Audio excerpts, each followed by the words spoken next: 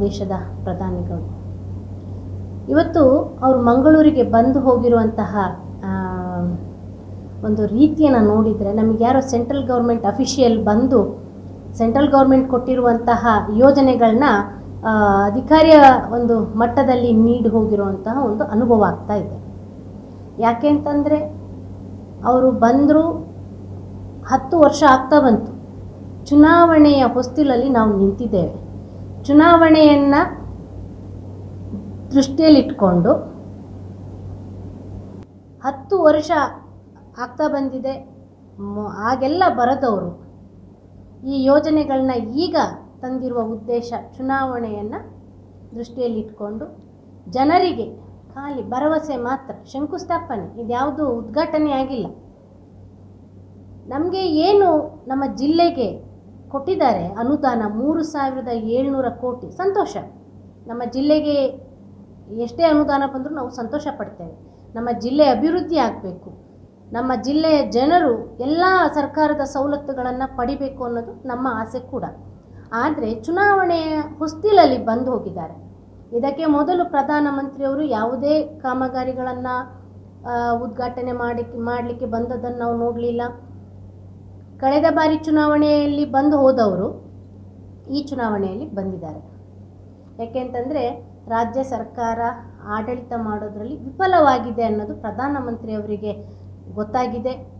ಅದಕ್ಕೋಸ್ಕರ ರಾಜ್ಯ ಸರ್ಕಾರ ಯಾವುದೇ ಅಭಿವೃದ್ಧಿಯ ಜನಪರ ಕಾರ್ಯಗಳನ್ನು ಹೇಳಿಕೊಂಡು ಜನರ ಮುಂದೆ ಚುನಾವಣೆಗೆ ಹೋಗೋದಕ್ಕೆ ಅವರು ಆಗುವುದಿಲ್ಲ ಆದ್ದರಿಂದ ನಾನಾದರೂ ಹೋಗ್ಬಿಟ್ಟು ದಕ್ಷಿಣ ಕನ್ನಡ ಅದರಲ್ಲೂ ದಕ್ಷಿಣ ಕನ್ನಡ ಕನ್ನಡ ಜಿಲ್ಲೆಯಲ್ಲಿ ನಾನು ಖಾಲಿ ಶಂಕುಸ್ಥಾಪನೆಯನ್ನು ಮಾಡಿ ಇಷ್ಟಿಷ್ಟು ಅನುದಾನಗಳನ್ನು ನಾವು ಕೊಡ್ತಾ ಇದ್ದೇವೆ ಅಂತ ಹೇಳಿ ಹೋಗಿದ್ದಾರೆ. ಇದೇನಾದರೂ ಇದಕ್ಕೆ ಮೊದಲೇ ಏಳೆಂಟು ವರ್ಷ ಆಗಿದೆ. ಅದಕ್ಕೆ ಮೊದಲೇನಾದರೂ ಇವರು ಅನುದಾನಗಳನ್ನ ಈ ಅನುದಾನಗಳನ್ನ ಕೊಡಲಿಕ್ಕೆ ಇಷ್ಟು ಸಮಯ ಬೇಕಿತ್ತಾ? ಶಂಕುಸ್ಥಾಪನೆ ಮಾಡಲಿಕ್ಕೆ ಇಷ್ಟು ಸಮಯ ಬೇಕಿತ್ತಾ? ಚುನಾವಣೆಗೆ ಐದಾರು ತಿಂಗಳಿದೆ, ಅದನ್ನು ಮುಂದಿಟ್ಕೊಂಡು ಬಂದು ಕೊಡ್ತಾ ಇದ್ದೀರಾ? ಜನರು ದಡ್ರಲ್ಲ. ನಮ್ಮ ದಕ್ಷಿಣ ಕನ್ನಡ ಜಿಲ್ಲೆಯ ಜನರು ವಿದ್ಯಾವಂತರು, ಬುದ್ಧಿವಂತರು, ಸೂಕ್ಷ್ಮ ಜೀವಿಗಳು ಎಲ್ಲವೂ ನಮ್ಮ ಜನರಿಗೆ ಅರ್ಥ ಆಗುತ್ತೆ.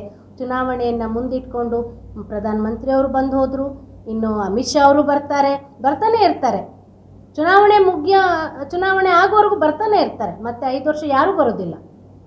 ಯಾರೂ ನೋಡೋದಿಲ್ಲ ಈ ಕಡೆ ತಿರುಗಿ. ನಡ್ಡಾ ಅವರು ಬರ್ತಾರೆ. ಇದೆಲ್ಲ ರಾಜಕೀಯ ತಂತ್ರಗಾರಿಕೆಯನ್ನು ಮಾಡ್ತಾ ಇದ್ದಾರೆ. ಹಾಗೆ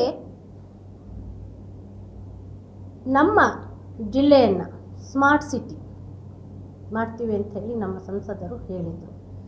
ನಮ್ಮ ಎಂ ಪಿ ಅವರಿಗೆ ನಾನು ಕೇಳೋದಿಷ್ಟೇ, ಸ್ಮಾರ್ಟ್ ಸಿಟಿ ಆಗಲಿಲ್ಲ, ಆದರ್ಶ ಗ್ರಾಮ ಆಗಲಿಲ್ಲ ನಮ್ಮ ಸುಳ್ಯ ತಾಲೂಕಿನ ಬಳ್ಪ ಗ್ರಾಮವನ್ನು ಆದರ್ಶ ಗ್ರಾಮವನ್ನಾಗಿ ಮಾಡ್ತೀವಿ ಅಂತ ನೀವು ದತ್ತು ತಗೊಂಡಿದ್ದೀರಿ. ಇವತ್ತು ಅಲ್ಲಿಯ ಜನ ಮೊನ್ನೆ ಯಾರೊಬ್ರು ಹೇಳ್ತಿದ್ರು, ನಾವು ಮಾತ್ರೆ ನುಂಗಿ ಸೊಂಟ ನಾವು ಮಾತ್ರೆ ನುಂಗೇನೆ ನಾವು ರಿಕ್ಷಾ ಓಡಿಸ್ತೇವೆ. ಯಾಕೆಂತಂದರೆ ಆ ರಸ್ತೆಗಳ ಹಾಗೆ ಹದಗೆಟ್ಟಿದೆ. ಇದೇ ಆದರ್ಶ ಗ್ರಾಮನ. ಯಾವುದು ಹೇಳಿದ್ದನ್ನು ನೀವು ಮಾಡಲಿಲ್ಲ. ನಿಮ್ಮ ಮೇಲೆ ಜನರಿಗೆ ಭರವಸೆನೇ ಇಲ್ಲ. ಮತ್ತು ಈ ಶಂಕುಸ್ಥಾಪನೆಯನ್ನು ನಂಬಿ ಜನರು ನೀವು ಇಷ್ಟಿಷ್ಟು ಮೂರು ಸಾವಿರದ ಏಳ್ನೂರು ಕೋಟಿ ಅನುದಾನವನ್ನು ನಾನು ಕೊಡ್ತೇವೆ, ಇಟ್ಟಿದ್ದೇವೆ ದಕ್ಷಿಣ ಕನ್ನಡ ಜಿಲ್ಲೆಗೆ ಅಂತ ಹೇಳಿದ್ರೆ ನಂಬುವಂಥ ಜನರು ದಡ್ರಲ್ಲ. ಅದರಿಂದ ಇದನ್ನೆಲ್ಲ ಬಿಟ್ಟು ಅಭಿವೃದ್ಧಿಯನ್ನು ಮಾಡಿ. ಇನ್ನು ಮಾಡಲಿಕ್ಕೆ ಸಮಯ ಇದೆ. ಇನ್ನೂ ಸಮಯ ಇದೆ. ಅಭಿವೃದ್ಧಿಯನ್ನು ಮಾಡಿ. ಸ್ಮಾರ್ಟ್ ಸಿಟಿ ಅಂತ ಬಾಯಲ್ಲಿ ಖಾಲಿ ಸ್ಮಾರ್ಟ್ ಸಿಟಿ ಅಂತ ಹೇಳಿದರೆ ಸಾಕಾಗೋದಿಲ್ಲ. ಸಾವಿರಾರು ಕೋಟಿ ಅನುದಾನ ಬಂದಿದೆ.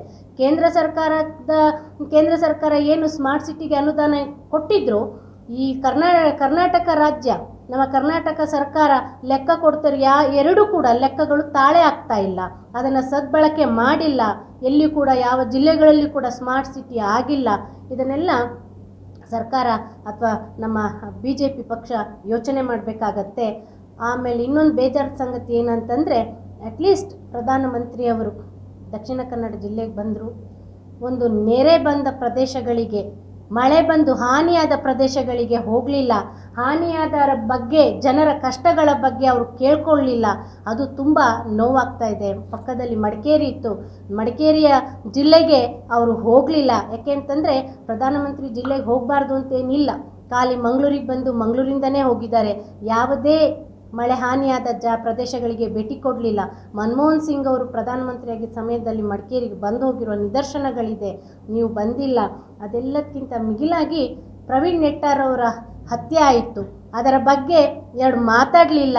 ಆ ಮನೆಯವರನ್ನು ಕರೆಸಿ, ಆ ಹೆಂಡತಿ ಮತ್ತು ಆ ತಂದೆ ತಾಯಿಗೆ ಸಾಂತ್ವನದ ನಮ್ಮ ಮಂಗಳೂರಿಗಾದರೂ ಕರೆಸಿ ಅವರನ್ನು ಮಾತಾಡಿ ಸಮಾಧಾನ ಮಾಡ್ಬೋದಾಗಿತ್ತು.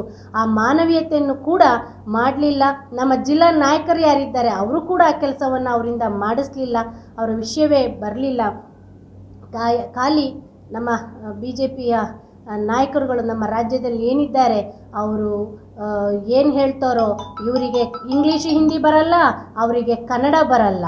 ಎರಡು ತಾಳೆ ಆಗದೆ ಇವತ್ತು ನಮ್ಮ ಜಿಲ್ಲೆ ಅಭಿವೃದ್ಧಿಯಲ್ಲಿ ಕುಂಠಿತವಾಗಿದೆ.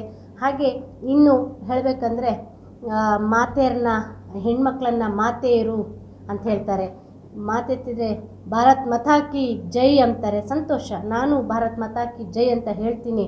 ಅವರು ಹೇಳ್ತಾರೆ, ಆದರೆ ಕನಿಷ್ಠ ಜ್ಞಾನ ಇಲ್ಲ, ಒಂದು ಹೆಣ್ಮಗಳ ಹತ್ರ ಹೇಗೆ ಮಾತಾಡಬೇಕು ಅಂತ ಅರವಿಂದ್ ಲಿಂಬಾವಳಿ ಅಂತಹ ಒಬ್ಬ ಹಿರಿಯ ನಾಯಕರು ನಡೆಸಿಕೊ, ಒಂದು ಮಹಿಳೆಯನ್ನು ನಡೆಸಿಕೊಂಡಿರುವುದನ್ನು ನಾವೆಲ್ಲರೂ ಮಾಧ್ಯಮದಲ್ಲಿ ನೋಡಿದ್ದೇವೆ, ಚರ್ಚೆ ಆಗ್ತಾ ಇದೆ ಆ ಥರ ಮಾತಾಡಬಾರ್ದು. ಇದೇನಾ ನಿಮ್ಮ ತತ್ವ ಸಿದ್ಧಾಂತ?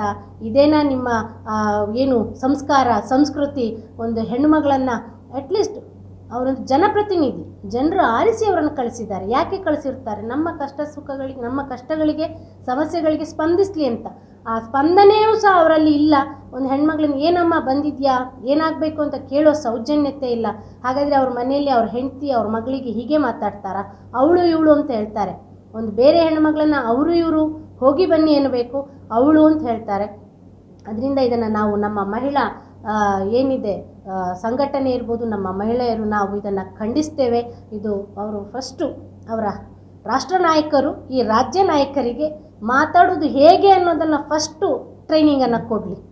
ಅವರು ಬೇರೆ ಟ್ರೈನಿಂಗನ್ನು ಕೊಡೋದಲ್ಲ, ಒಂದು ಹೆಣ್ಮಗಳ ಹತ್ರ ಹೇಗೆ ಮಾತಾಡಬೇಕು ಅನ್ನುವ ಟ್ರೈನಿಂಗನ್ನು ಕೊಡಲಿ ರಾಜ್ಯ ನಾಯಕರುಗಳಿಗೆ ಅಂತ ಹೇಳಿಕೊಂಡು, ಮತ್ತು ಇನ್ನೂ ವಿಚಾರ ನಮಗೆಲ್ಲ ಗೊತ್ತೇ ಇದೆ ಬೆಲೆ ಏರಿಕೆ ಬಗ್ಗೆ. ನಾನೊಬ್ಬಳು ಗೃಹಿಣಿ ಇಲ್ಲೆಲ್ಲರೂ ಗೃಹಿಣಿಯರಿದ್ದಾರೆ.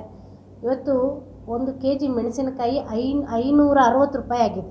ನನಗೆ ಶಾಕ್ ಒಂದು ಕೆ ಜಿ ಮೆಣಸಿನಕಾಯಿ ಕೊಡಿ ಅಂತ ಕೇಳಿದರೆ ಬಿಲ್ ಹೇಳಿದ್ರು ಐನೂರ ಅರವತ್ತು ಐನೂರ ಅರವತ್ತು ರೂಪಾಯಿ ಆಗಿದೆಯಾ ಅಂತ ಶಾಕ್ ಆಯ್ತು ನನಗೆ. ಇನ್ನು ಕೊತ್ತಂಬರಿ ನೋಡಿದರೆ ನಾನ್ನೂರ ಹತ್ತತ್ರ ಆಗಿದೆ. ಒಂದು ಸಾಂಬಾರನ್ನು ಮಾಡಿ ತಿನ್ನೋಕ್ಕೆ ನಾವು ಸಾವಿರಾರು ರೂಪಾಯಿ ಖರ್ಚು ಮಾಡಬೇಕಾಗಿದೆ ತಿಂಗಳಲ್ಲಿ. ತೊಗರಿಬೇಳೆ, ಎಣ್ಣೆ ಸಕ್ಕರೆ ಇರ್ಬೋದು, ಎಲ್ಲ ಬಿಟ್ಟು ಒಂದು ಗುಡ್ಡೆ ಬಿಸ್ಕೆಟ್ ಪ್ಯಾಕೆಟ್ ಇಪ್ಪತ್ತೈ, ಇಪ್ಪತ್ತು ರೂಪಾಯಿ ಇತ್ತು. ಅದು ಭಾಳ ದೊಡ್ಡ ಪ್ಯಾಕೆಟ್ ಬರ್ತಿತ್ತು.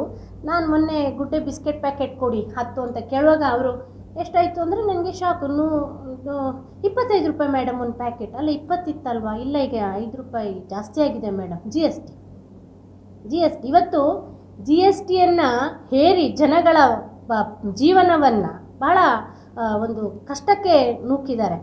ಇನ್ನೊಂದು ವಿಚಾರ ಇದೆ. ಕೇಂದ್ರ ಸರ್ಕಾರ ಜಿ ಎಸ್ ಟಿಯನ್ನು ಹೆಚ್ಚಳ ಮಾಡಿದರೆ ಕರ್ನಾಟಕ ಸರ್ಕಾರಕ್ಕೆ ಒಂದು ಆ ಒಂದು ಅವಕಾಶ ಇದೆ. ಜಿ ಎಸ್ ಟಿಯನ್ನು ನಮ್ಮ ಸರ್ಕಾರ ಹೆಚ್ಚಳ ಮಾಡುವುದಿಲ್ಲ. ನಾವು ಜಿ ಎಸ್ ಟಿಯನ್ನು ಹಾಕುವುದಿಲ್ಲ ಅಂತ ಜಿ ಎಸ್ ಟಿಯನ್ನು ಕಡಿಮೆ ಮಾಡುವ ಅವಕಾಶ ಕೂಡ ರಾಜ್ಯ ಸರ್ಕಾರಗಳಿಗಿದೆ. ಅದನ್ನೂ ಕೂಡ ಇವರು ಮಾಡ್ತಾ ಇಲ್ಲ. ಕೇಳಿದರೆ ಸೆಂಟ್ರಲ್ ಗೌರ್ಮೆಂಟ್ ಕೇಂದ್ರ ಸರ್ಕಾರವನ್ನು ತೋರಿಸ್ತಾರೆ. ಅದನ್ನಾದರೂ ಒಂದು ತಿಳ್ಕೊಳ್ಳಿ. ಏಕೆಂದರೆ ಸುಪ್ರೀಂ ಕೋರ್ಟ್ ಆದೇಶ ಮಾಡಿದೆ, ಮಾಡಿತ್ತು. ನೀವು ನಿಮ್ಮ ನಿಮ್ಮ ರಾಜ್ಯದಲ್ಲಿ ಅದು ನಿಮಗೆ ಬಿಟ್ಟ ವಿಚಾರ ಜಿ ಎಸ್ ಟಿಯನ್ನು ಹೆಚ್ಚಳ ಆದರೂ ಮಾಡ್ಬೋದು ಕಡಿಮೆ ಆದರೂ ಮಾಡ್ಬೋದು. ಅದು ನಿಮ್ಮ ನಿಮಗೆ ಬಿಟ್ಟ ವಿಚಾರ ಅಂತ. ಇವರಿಗೆ ಜನರ ಬಗ್ಗೆ ಕಾಳಜಿನೇ ಇಲ್ಲ. ಇನ್ನು ಜಿ ಎಸ್ ಟಿಯನ್ನು ಎಲ್ಲಿ ಕಡಿಮೆ ಮಾಡಿ ಸರ್ಕಾರವನ್ನು ನಡೆಸ್ತಾರೆ?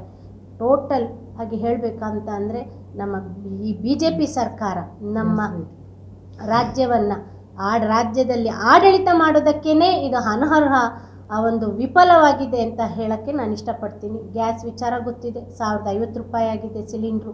ಪೆಟ್ರೋಲ್, ಡೀಸೆಲ್ ಬೆಲೆ ಗೊತ್ತಾಗಿದೆ. ಹೆಚ್ಚಳ ಆಗಿದೆ. ಇದನ್ನೆಲ್ಲ ನನ್ನ ಸಮಾಜದವರು, ನಮ್ಮ ರಾಜ್ಯದವರು, ನಮ್ಮ ಜಿಲ್ಲೆಯವರು, ನಮ್ಮ ತಾಲೂಕಿನವರು ಪ್ರತಿ ಮನೆ ಮನೆಯಲ್ಲೂ ಇದರ ಬಗ್ಗೆ ಯೋಚನೆಯನ್ನು ಮಾಡಬೇಕು. ಮೋದಿ ಬರ್ತಾರೆ, ಹೋಗ್ತಾರೆ. ಅಮಿತ್ ಶಾ ಅವರು ಬರ್ತಾರೆ, ಹೋಗ್ತಾರೆ. ನಡ್ಡಾ ಅವರು ಬರ್ತಾರೆ. ಚುನಾವಣೆ ಮುಗಿಯೋವ್ರಿಗೂ ಎಲ್ಲರೂ ಬರ್ತಾರೆ. ಆದರೆ ಬಂದು ನಮಗೇನು ಕೊಟ್ಟಿದ್ದಾರೆ? ಏನಾಗಿದೆ ಅನ್ನೋದನ್ನು ನಾವು ಜನರು ಯೋಚನೆ ಮಾಡಬೇಕಾಗಿದೆ ಅಂತ ಹೇಳಿ